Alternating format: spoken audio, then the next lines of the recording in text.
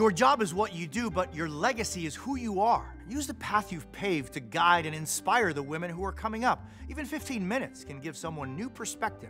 Her success is your success. The more you see her, the more you know.